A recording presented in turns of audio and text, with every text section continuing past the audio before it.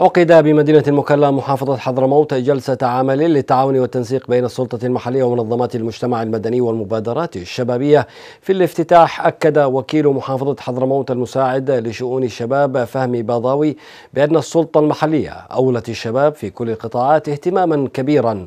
ولفت إلى أن هذا العام سيشهد اهتماما بقطاع التعليم الفني والتعليم الجامعي من خلال توفير حاضنات تعليمية وتأهيل السك السكنات الطلابية وقدمت في الجلسة ثلاث أوراق عمل أو قدمت في الجلسة ثلاث أوراق عمل تحدثت عن منظمات المجتمع المدني ودورها والمشاكل والصعوبات التي تواجه عملها وأوجه التنسيق والإشراف على نشاط المنظمات المجتمعية والمبادرات الشبابية وتعزيز دورها والمبادرات الشبابية وتأثيرها وأدوارها والمعوقات التي تواجهها والدعم والمساعدة التي يمكن أن تتحصل عليه لتقوم لتقوم بدورها على أكمل وجه في خدمة المجتمع.